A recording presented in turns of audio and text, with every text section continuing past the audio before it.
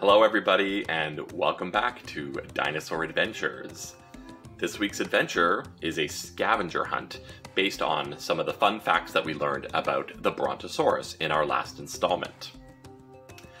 A fun variation to this activity is instead of looking for the items around your house, you can also look for some of these items on the internet.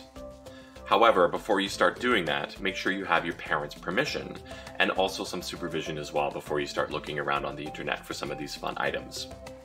All right, are you ready? Let's get started. The Brontosaurus was a plant eater, so I thought it'd be fun for us to look for a plant. Now, since it's a rainy day, I'm actually going to look for a plant inside the house because I don't want to go outside and get wet. So let's come over here, see if we can find some plants. Oh, there's a plant. And there's a plant. They look like a really delicious, tasty treat for the Brontosaurus.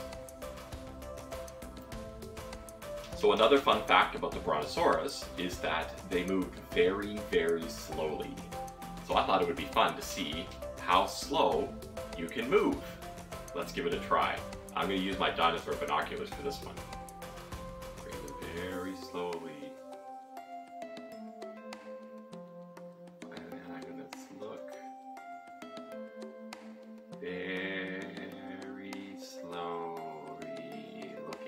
Things. Maybe seeing the Brontosaurus moving very slowly.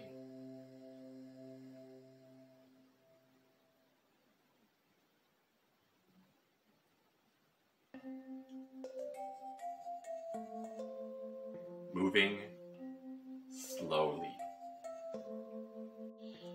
So the Brontosaurus was featured on a US postal stamp. So I thought it would be fun for us to look for a stamp. So what would be some things that use a stamp, a postage stamp? Let's go look around. I think I have an idea as to where I can find one. I'm gonna come down into my home office area. And I look down here. Oh, look at that. I have got a whole roll of postage stamps. Look at that. And they're from Canada. So, stamps.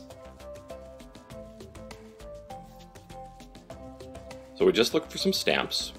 So the next fun fact is that the Brontosaurus lived mainly in North America. So I thought it'd be an interesting idea for us to look for a map of North America on the internet. So we're gonna come over to my computer. I've already got the Google page open. And we're just going to type in North America.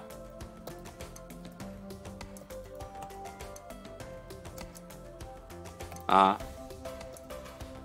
Mer, eh, ka, and oh look, the first thing that came up is North America map. So I'm going to click on that. Oh, look at all these beautiful images. I'm just going to click on one of these images here and see a lot of United States maps. Ooh, here's a nice big colorful map of North America. Look at that. So this is where the Brontosaurus mainly lived. Lived in North America. Oh, I think I hear something moving around upstairs. Hmm, I wonder what it could be. Let's go investigate. Okay, so I just came upstairs because I heard some moving around. And as I'm looking around, I see, oh, look at that. We've got some dinosaur tracks. I hope those are dinosaur tracks. Let's see where they lead to. Oh, I see a little tail poking out. See a little tail poking out. Let's see if I move some of the stuff around. Oh my goodness, let's see if I can coax out Mr. Oh, there he is. Mr. Brontosaurus. Look at you with your long neck and your long tail. Hello, Mr. Brontosaurus. I'm glad we were able to find you. Hey everybody and welcome back. How did you do on your scavenger hunt? Were you able to find all of the fun items on the list? Join us next time where we will be learning some fun facts about the Pterosaurus, or as it's commonly called, pterodactyl. So join us next week. We'll learn some fun facts about the Pterosaurus. Have a great week. We'll see you next time.